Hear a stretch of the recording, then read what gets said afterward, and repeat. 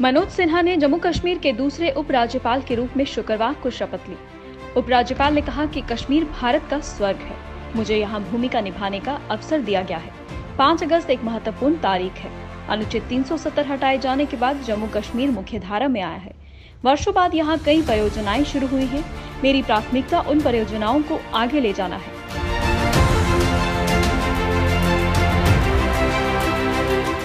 उपराज्यपाल मनोज सिन्हा ने कहा कि बिना किसी पक्षपात के संवैधानिक शक्तियों का उपयोग लोगों के कल्याण के लिए किया जाएगा।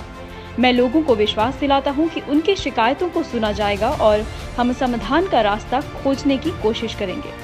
उन्होंने कहा कि हमारा उद्देश्य यहाँ के विकास को आगे बढ़ाना है।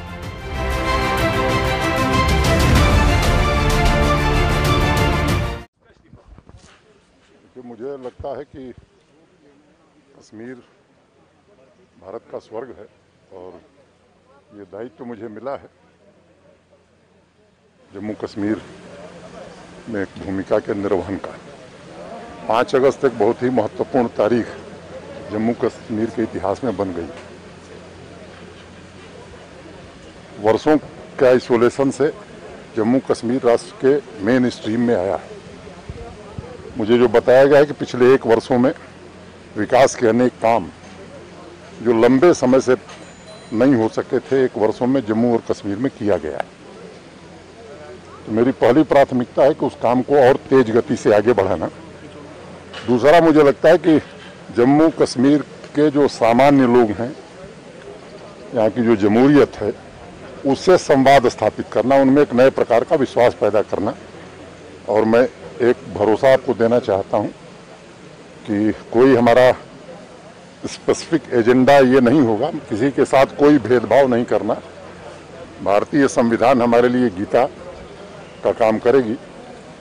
संवैधानिक शक्तियों का प्रयोग जम्मू कश्मीर के लोगों की भलाई के लिए जम्मू कश्मीर के विकास के लिए जितना अधिक से अधिक किया जा सकता है, मैं कोशिश करूँगा।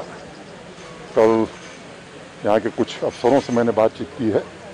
उनकी रुझान को भी मैं समझाऊं कि वो भी पूरी तरह निष्ठा के साथ यहाँ के विकास के काम को आगे बढ़ाना चाहते हैं।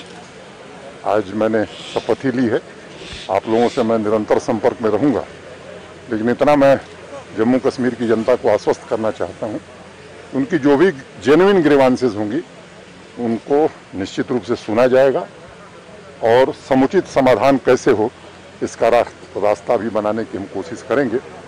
जनता से सीधा संवाद हो इस प्रक्रिया प्रक्रिया को भी आने वाले दिनों में। हम शुरू करने वाले हैं।